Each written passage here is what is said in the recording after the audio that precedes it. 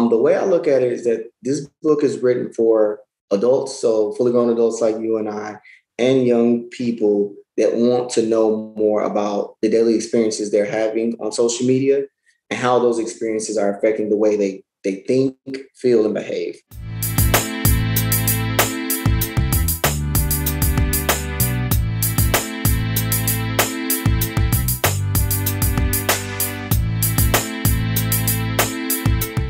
What's going on, everybody? Thanks for joining us for another episode of the Black Student Success Podcast, where we bring you insight and guidance from successful Black professionals and students. My name is Selvin, and as always, we appreciate the support. So now we have an exclusive interview with Tyler Hendon. If you didn't check out the episode before, uh, where we talked about his story getting into his HR uh, profession and career, definitely go check that out to give a little bit of context as to what we're going to discuss today. So, uh, what, what we're going to do is we're going to talk about his upcoming book release that's called Mirage The Truth About Social Media. This is a book that was written and independently published by Tyler himself, where he talks about the different aspects of social media, how it's programmed, you know, what the goals are for those different aspects of social media, uh, what are the uh, the you know the different ways that it affects our lives and then just how to navigate that you know because it's not going anywhere. So how do we navigate this uh, thing that's kind of surrounding our world and balance it with our normal lives? So we're going to talk about a lot of those different things. So again tyler welcome to the show. How are you doing Good, man. I'm doing very well. Thank you for having me. Yeah, yeah, absolutely, absolutely. So let's um so let's kind of get into maybe like an overview of of the book itself and kind of, you know, what the goal was, you know, what inspired you to write the book and everything. Yeah, so um I'll start with, you know, the the inspiration first, right? Uh so I've had social media for let's say 15 years at this point. So I'm, I'm 30. Um, and I've always been someone that's very observant on social media, right? Like I, you know, I post and things of that nature, but I've never been someone that's like always posting or always tweeting or, you know, always on Instagram or whatever it may look like. Uh, and so I think that as time has gone on, I've gotten really interested in wondering like, what makes someone get on like a like a Twitter and say something like crazy or post something that I would never post, right? Um, and so first I had to kind of look at it and say, like, well, you know, Tyler, you're more of a um, um, a shy kind of person. You're more, uh, you know, to yourself. And there are people that are more outgoing than you, right? Uh, but then as I became more interested, I started studying like the nature of the apps. So like what how do they work? I got I got really interested in how do they work. So I started looking at them and saying, okay, I know that I'm using it in this way, but why does it work in that way? And I, I just did this motion, you know, you know, because you, I think we can find ourselves all day doing this, mm-hmm. just like scrolling, scrolling, and then you know you look up and you don't even remember what you just saw for like the past five minutes, or like you might remember a little bit, right? Mm-hmm. Um, so I became very interested in wondering why do people interact with the apps in the way that they do, and then I became interested in how do they work, like like what it is, what is it about this app that led, you know, Snapchat chat to be worth billions of dollars? You know, their CEO's worth like $10 billion. Like, yeah. what is it about this thing that is just so profitable and makes, you know, um, made these companies so powerful and influential? Uh, so really, man, I started studying the people that use the apps, meaning, you know, everyday people like you and me. Um, I started studying and paying attention to the companies.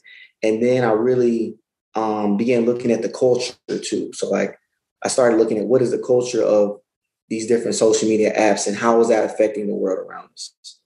So I think that was my like um interest. Yeah.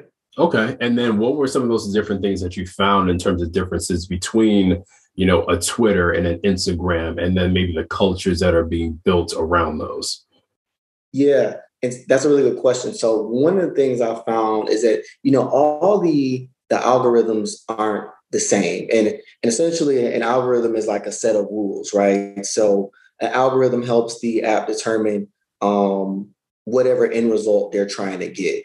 And that end result could be engagement. So, you spending more time on the app, and that ultimately gets them to be in a position where they can monetize the experience. And monetize uh, essentially means to turn something into money. Um, so I would take time to look at like a Twitter and look at their culture and say like, well, how are people interacting interacting with this this app and talking about their lives here in a different way than they are on Instagram? Um, and what I found, man, is that some things aren't that different.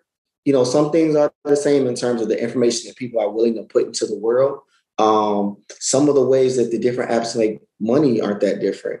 Uh, but the the culture though can be a bit different because if you're talking about a Twitter, Twitter is almost like a personal diary for some people, where they get on there and every day they are kind of in some ways just talking to themselves, and then other people are able to chime in on that. Um, whereas at Instagram, I think you'll probably hear people say this: Instagram can feel, um, depending on how you use it, right? Because it's different for different people.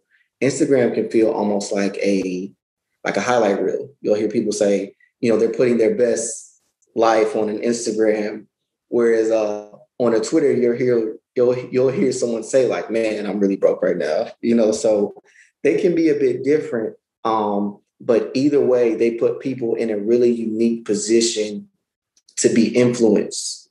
Um, and by influence, I mean that you know, man, I've come to believe that these companies, the social media, you know, uh, companies of the world, these huge um, businesses like the Facebook and Instagram, Snapchat, Twitter, you know, I think they're some of the most influential companies on the planet right now um, because they have a the way they have a way to directly influence the way people interact with other people. Um, man, they have a way to influence the way that people think, and they have a way to influence the way that you feel. And so ultimately, if you think about it, or at least in my mind, if I can you know, impact the way someone thinks, the way they feel, and you know, uh, the way they behave as well. So their behaviors, I can make that person do a lot of different stuff if I chose to, right?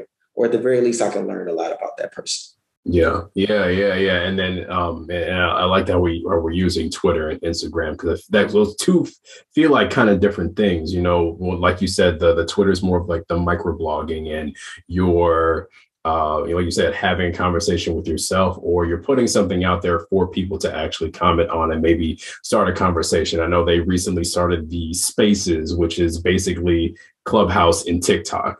So you now have this opportunity to actually just ba- basically be able to either talk or even listen into some of those different conversations about whatever they're going about. And then, you know, the the Instagram is um, you know it's you know the highlight reel type of feel the you know putting people on a pedestal and um you know, uh, you know, just really being uh, being influenced by the visuals of something.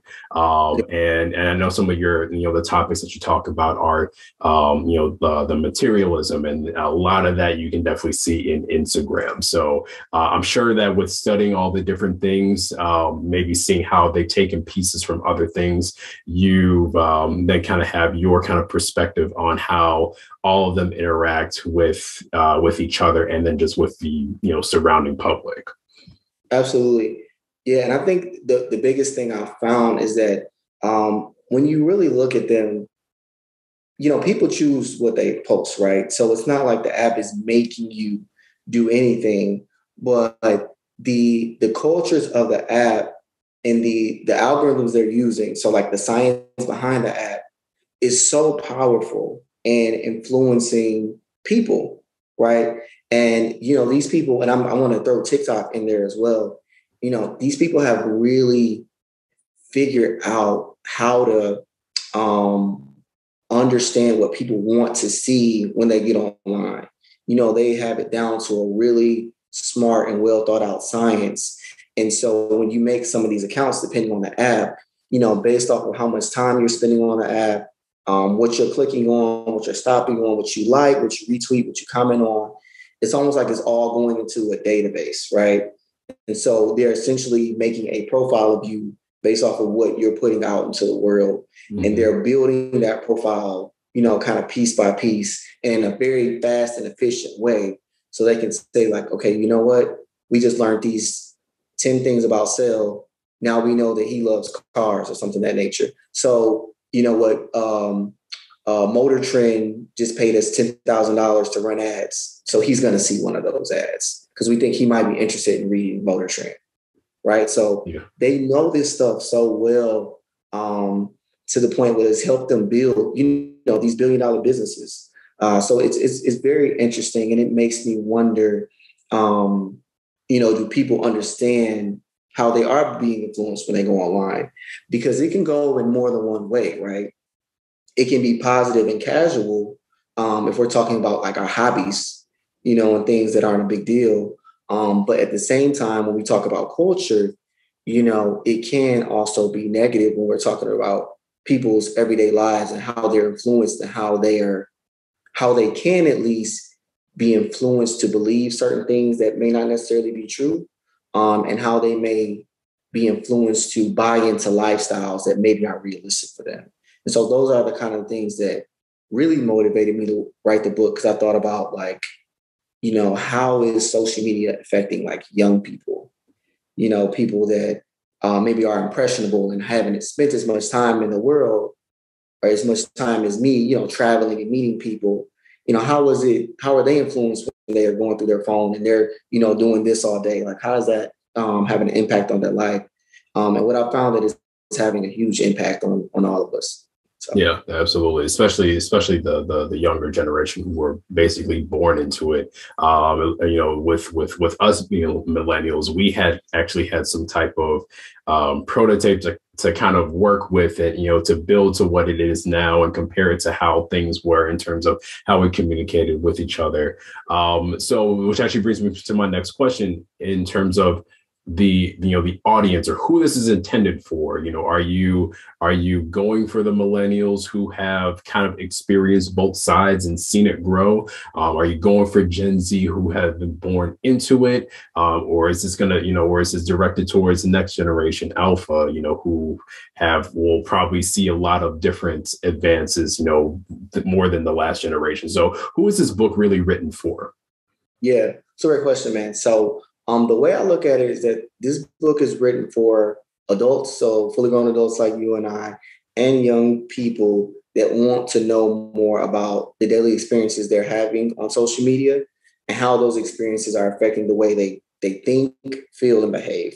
Um, and any, anyone that follows me is probably going to hear me say think, feel, and behave a lot. Uh, but I really think those are the primary things that social media is doing to us and able to do to us um, when we're getting on these different apps. Uh, so that, those are the groups I really want to target because I want to be able to speak to those parents that like, you know, they have kids that are always on their phone, they're always doing this, and maybe that parent doesn't completely understand why their kid is on that app so much. And then at the same time, maybe that parent doesn't understand how much that app is influencing their child, right? Um, and the culture that they experience on that app um, is influencing their child. Um, and I also want, you know, young people to be able to discern between, you know, what they should be influenced by on social media and what they should be careful of.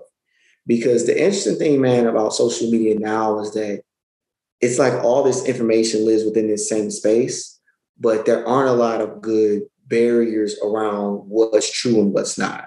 So you'll have, you know, truthful information, halfway truthful information, misinformation, you know, completely false information, all existing within that same space. And so uh, I'm saying to myself, if I'm young and I'm impressionable and I'm looking at all this stuff at once, how do I determine like what I should buy into and what I should believe and what I should say, oh no, that's not that's not true, or maybe I should question that. Um, so I'll say that those are the primary groups, man. And, and lastly, I want to say, you know, really this book is for people that have maybe in some way allowed social media to impact their feelings and impact maybe their self-confidence or impact the way that they view themselves and the expectations they're putting on themselves. Um, because I do think social media isn't necessarily a bad thing, but with the culture that we're seeing in it now, I think it's setting or has the ability to set an unfair expectation for people in terms of the positions that they should be in, like in life. You know, whether it be uh, our relationship status, um, the jobs that we have, how much we're able to travel, how educated we should be, how much money we should have. um, what I'm seeing in the culture is that it's becoming um, a little bit a little bit tricky and a little bit of a um, I call it mirage for a reason, right? So it's becoming kind of like a mirage because it looks like one thing. Because you know, because I think you use Twitter like me, you know, you'll see people say, This is goals, this is what you should be doing. But when you really pay attention to it, it might not be that thing. And that thing that they're putting out there, that thing that is becoming big in our culture, might not be something you should actually uh, imitate or something that you could even reach. On top of that, something that's even realistic for you to try to get to it, whatever point you're in in life. Yeah. Um, so I really want people that have experienced those emotions and feelings to be able to connect to the book and to be able to just interpret it and get something out of it. Yeah, yeah, yeah. I'm glad you mentioned uh, feelings and and and and and just sometimes when you uh, see some type of piece of content and, and it, it, evokes a certain feeling and then you want to have more. I think you kind of mentioned uh, in, in, some of your book when you're talking about how you know your timeline is basically catered to you you know you know whether it's from the the companies or from other people who are like-minded and are posting similar you know things. Um, and and yeah and that that makes you feel you know a, a certain way whether that's good or bad or whatever the case is. And then you know because these are platforms where people are given the voice to kind of give their opinion now they're you know now they're in a position to now speak kind of based off of that emotion um, or you know without a without a balance between you know the subjectivity and the objectivity. So um so i'm glad that you you know start to kind of dig into these different topics. Um and, and one of them i want to actually ask you about is you know this idea of cancel culture. And so um you know i want to get your perspective on you know what you you know kind of what your opinion is on it um you know like its current state. And um you know if there's um if there's anything that you know has room to be changed with that because uh, you know you see things like you know most recently you know DaBaby had all the controversy you know for at least a couple weeks and probably still kind of going on. Um, but at the same time you know there are people who are skeptic on you know him being canceled and saying well you know maybe in about a month he's going to bounce back or everybody's going to forget about what happened, you know, you know, four or five weeks ago, whatever the case is. So, um, so what's your opinion on uh, cancel culture and what its current state is? Yeah, um, and I guess I want to start by um, thanking you, Sel, for reading that. Uh, I really appreciate you for you know taking the time to um, read some of my work. You know, in, in, regards to cancel culture, so I kind of in the book I came up with three um, conclusions on it. Um, I think that uh, we should educate people for one before canceling them, right? So educate people. Let's try to teach them a better way if they don't know a better way, or let's try to teach them why they're why they're wrong about something before we just throw them away, before we throw them in the trash. Um, second, I think we should try to meet people with empathy. You know, try to understand why someone may feel the way they feel before we judge them or before we say, you know, this person isn't worthy. Um, so empathy and education should come first, right? Let's try to teach people and help them first. Um, third, though, I do think there are times when it is um, fair to not necessarily, I I don't like to call it canceling. I would rather say withdraw support. So there are times when it is fair to withdraw support for someone if they have made choices that maybe don't align with your values or what you believe in, or maybe if their choices have hurt you in some way and you say, you know what, I don't want to um, buy into that person anymore because of the choices that they made. Um, and it's funny, man, you know, you brought up the situation with um, that artist, DaBaby. and you know, he did essentially go through an experience that I kind of outlined in the book and saying that, you know, if you make certain choices or you say certain things that people believe to be incorrect, right? And you have a large platform, there are going to be people um, that say you should be canceled. And then more than likely, if that gets enough traction, if that gets enough steam, it's going to impact your life. And it's more than likely going to impact your life in a way that you do not believe to be favorable. Right. So I do think that he's a human being, right? So I'm going to say, I'm going to stick to my guns and say, hey, um, if anyone did have the opportunity to interact with him, they should try to, you know, meet him with empathy first and some education, right? Try to teach him why he's wrong and show him like, you know, you said this thing and let me tell you why you shouldn't have. And let me try to be empathetic and try to give you a different path. Um, so that he can become a better human, right? Try to meet people as humans because we all make mistakes. It's natural for us to do those things, to make mistakes. But at the same time, I have to be respectful to the people who maybe he disrespected. And maybe those people that are saying, you know what, I can't believe he did that. That hurt me. I can no longer support this person. So I respect those people as well because I understand why they may feel the way that they feel. Um, but over anything, man, I really think that we need to understand that great people can do like dumb stuff. You know, we can all have the ability. That's I think that's what makes us human though. Like um if even if even when you take it back to like old Bible stories, like only, at least in my experience, the only person that was perfect in the Bible is Jesus, right? Mm-hmm. Everybody else you see, like they could have done something really great, and then there's someone else somewhere else in the story where they did something that wasn't right or they didn't align with um excuse me or they didn't align with um what they were supposed to do right? Uh so i think that's where i'm at with it man. Like let's meet people with with humanity and try to help them. And then after that you know go in a different direction. If we can't if that person can't learn or grow.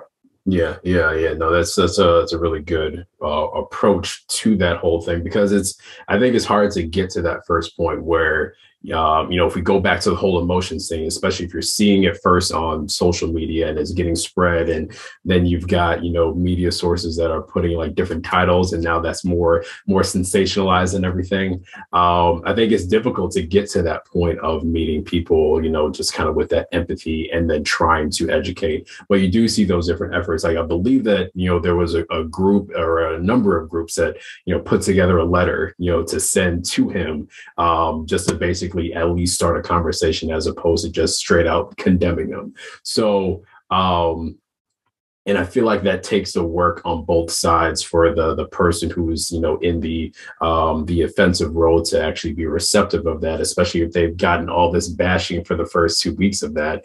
I'm sure they're ready to shut everybody out.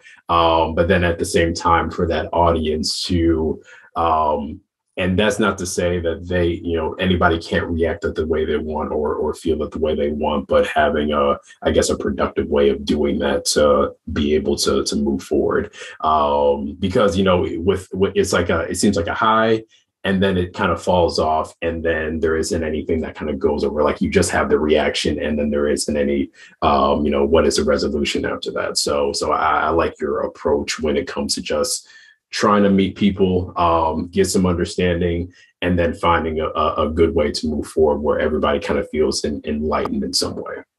Exactly. Yeah, absolutely. Absolutely. So, yeah, no, you have a point that you want to make?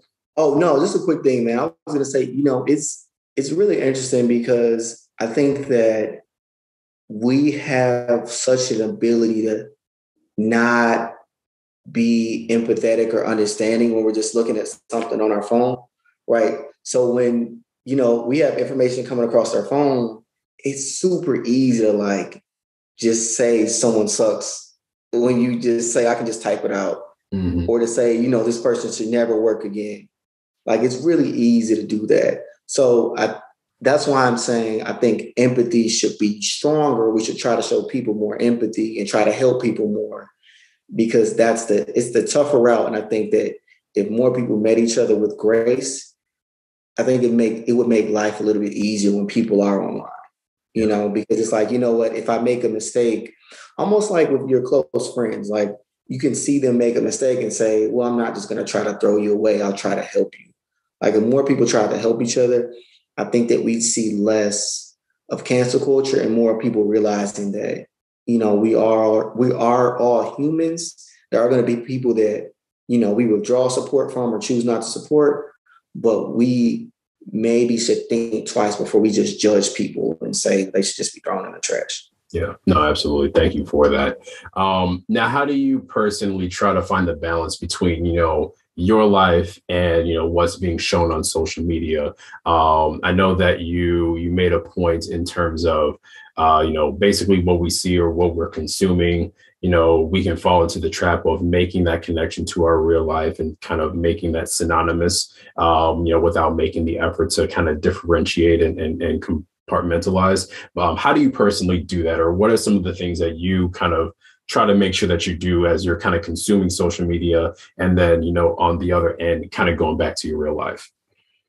Yeah that's a great question man. Um so I, honestly i would say i've learned to not take it as seriously um like I, I don't spend as much time looking at my timeline and like and i know some people maybe not like this response but like i don't believe people as much as i used to you know, like I I see things and it's like that's cool. Like I'm happy for people and I see people traveling and doing a lot of different cool things, but I don't buy into it as much as I, I used to. Um, and so when I spent less time buying into it and really believing what I was seeing all the time, um, it it makes you a little bit more relieved, or at least make me a little bit more relieved about my own life, because it's like, okay, that person could be doing great. They could not be doing great. Like, I don't really know, but I'm still gonna like their picture and just keep it moving and be happy for them, right? Um, but I would say that's number one, man. Two, um, I spend I try to spend less time on the apps than I used to. So I try to limit my screen time. Um, if I have to really focus on something, like I'll delete the apps off my phone and say, you know, I'm just gonna give this a break for even even man, if it's for like a day or two days or whatever, like you know, let me just take a little break because I know I got to do this thing. I got to really zone in. Um, so trying to limit the time I spend on the apps. Um, and really, man, I would also say, as I've learned more and more information, it's just helped me to um, kind of not necessarily make social media as much as a priority in my life, but more so like um, an addition that's cool to have when I'm ready to engage in it. Um, you know, man, I read this really cool book by this author called um, Adam Alter. He wrote a book called Irresistible, and it was revolving around screen time. And in the book, he mentioned how like some of these like CEOs and um, important people at these companies, at these tech companies, don't even allow like their kids and family to engage in social media, or their kid might not have an iPad, or their kid may not be able to watch certain shows because they know the impact it can have on your mental health. So I think that I try to just limit it and just be careful. Like if it's a weekend, I'll find myself just scrolling through the app, whatever, just because I'm relaxing, right?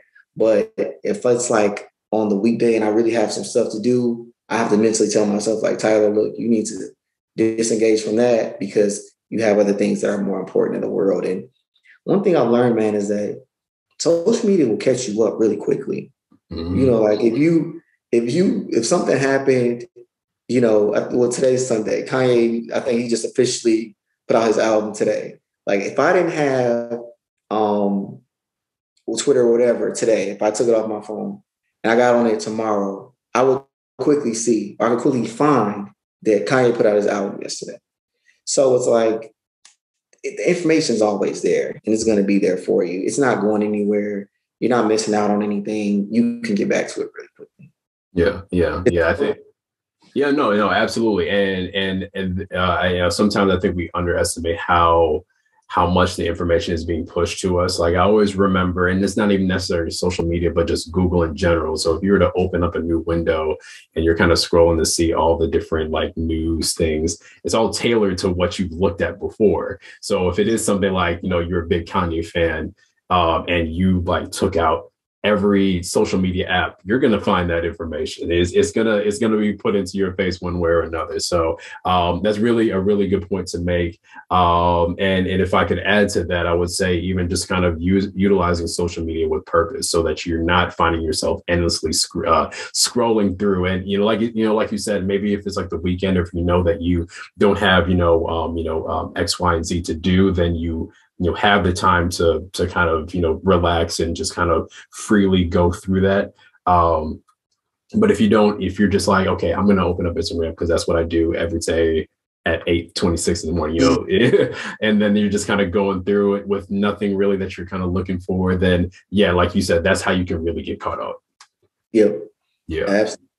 There you go. So, um, so for our listeners, especially with some of them being, you know, either in college or even, you know, before college, and then some afterwards, um, what was the process like of, you know, writing the book and especially independently publishing it? Um, because I, you know, I've hear that, you know, if you're kind of going through that process of writing and you've gotten your drafts, uh, everything's edited, and now you, you're trying to actually put it out there. If you're trying to go through a publisher, that's going to actually, you know, cost you a pretty penny. So, um, but I can also imagine that you know going the independent route gives you a lot more freedom. So can you talk about what that process was like, just in general? Yeah, so um, it, it was a really interesting process because I started by just writing notes on my phone.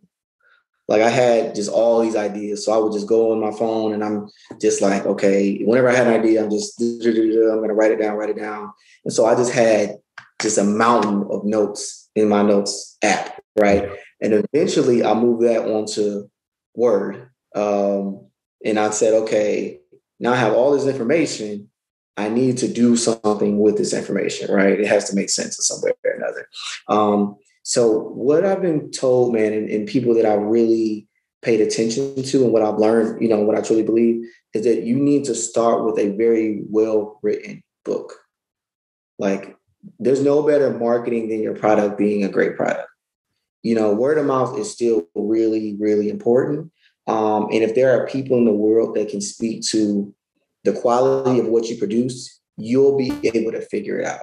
You know, it's I don't think it's any different than like your favorite restaurant or anything else we consume that people can say like, oh yeah, that's that's the place you need to go to because their food is great. That can go a long way coming from person to person.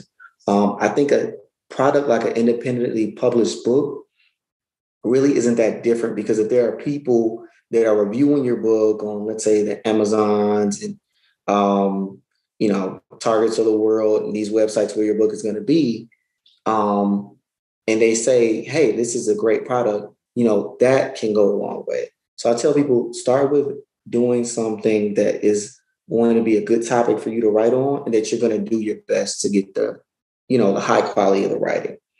Um, two, man, you know, it's really, and I had to learn this kind of the hard way. It's really a business.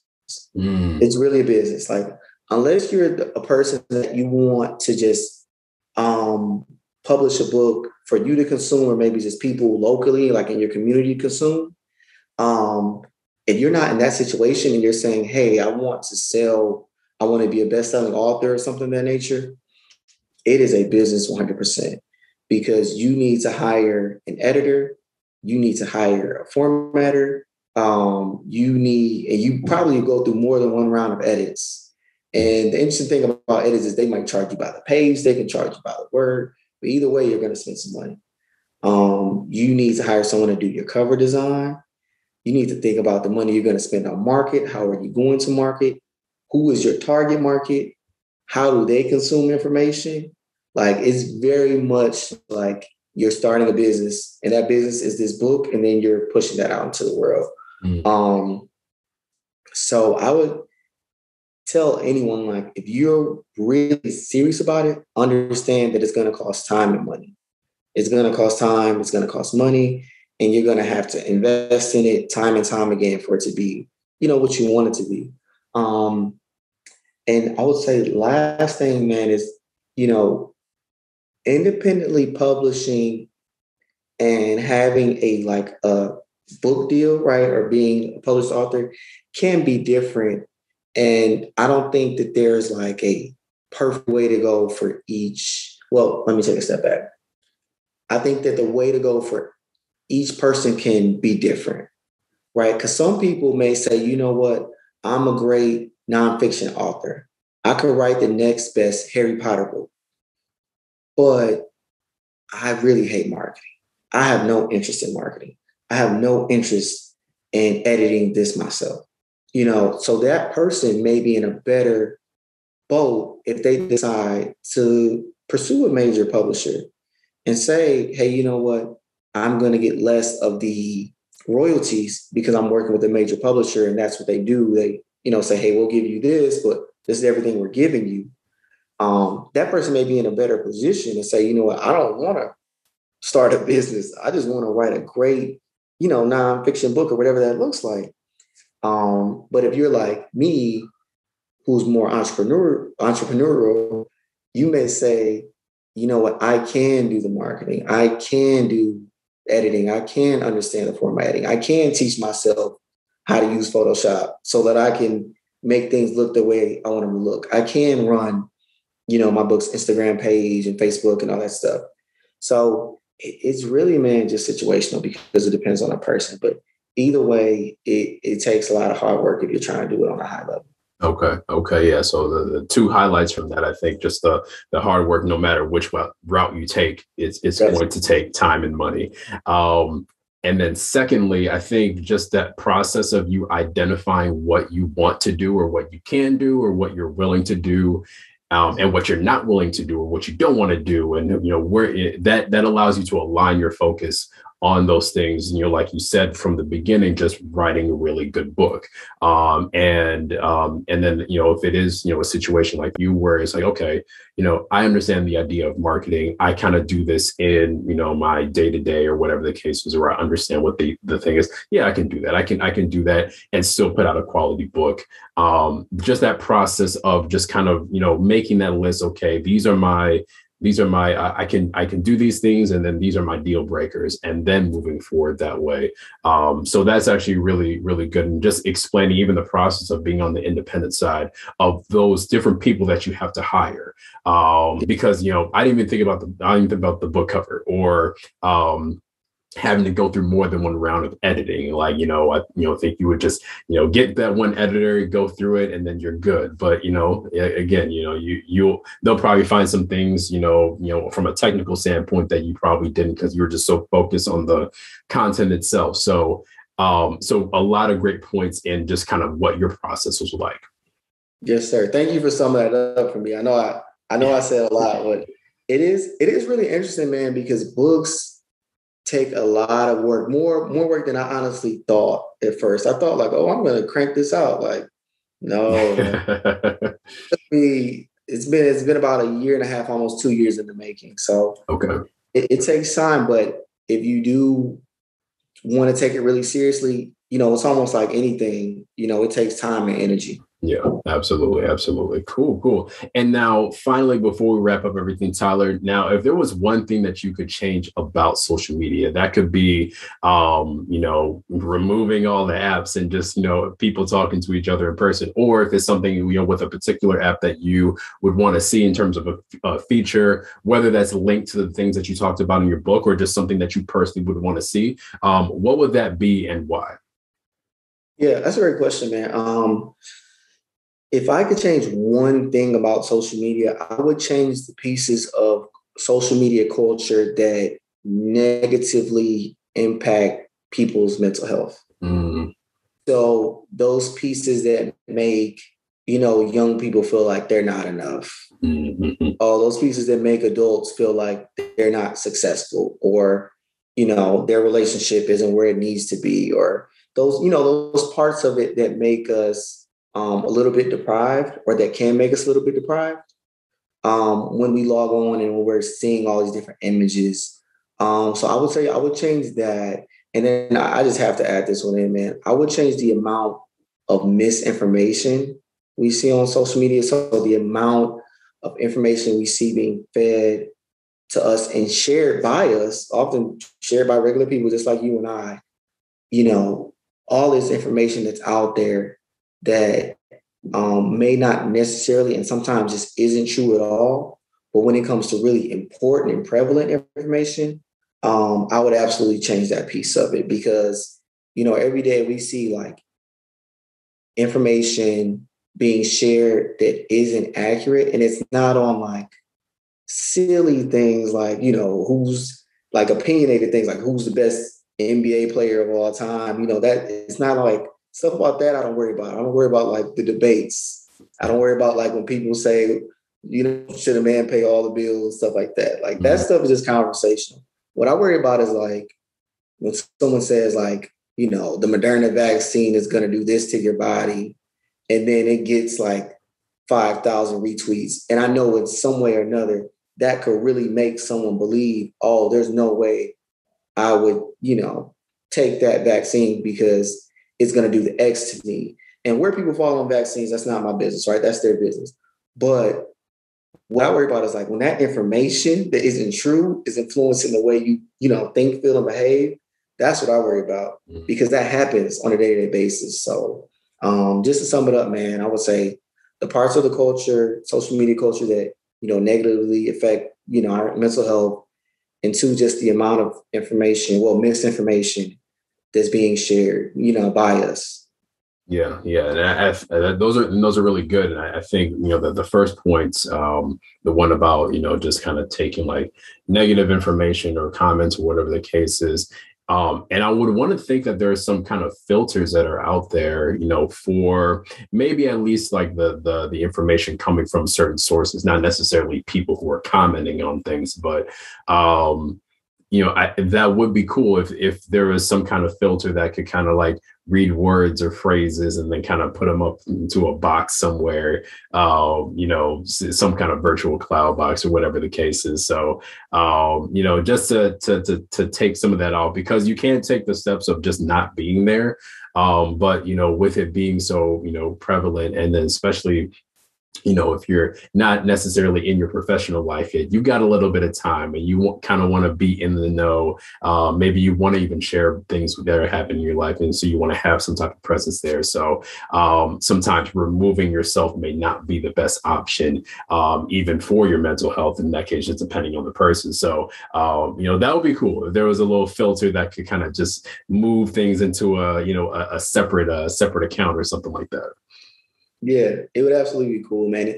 And you know, I've seen you know Twitter and Instagram and a few other platforms work on you know labeling certain information, um, which I think is really great that they're doing. They'll label something and say, you know, this could potentially be misinformation or yeah. this may not be aligned with what you know we've seen to be true. I think uh, we need more of that kind of um, not to lack for lack of a better word, I would say policing and only when it comes to like important stuff, like opinionated stuff is fine because we can all have opinion on different things. But when it comes to like really like important information that can impact our lives, right? That stuff we really should be careful about sharing information on that stuff that isn't true.